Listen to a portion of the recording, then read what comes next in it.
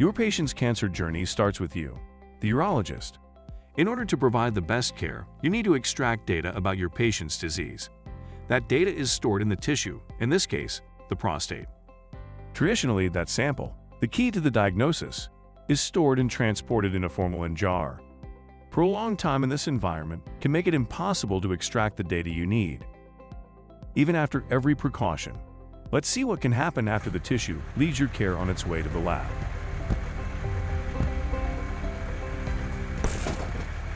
Look at your data now. What was once a full tissue core is now fragmented and has lost proximal and distal orientation. At this point, there is nothing that can be done to remedy the damage, and opportunities such as focal therapies and targeted oncology care are lost. Fortunately, there is a much better way to preserve your patient's tissue.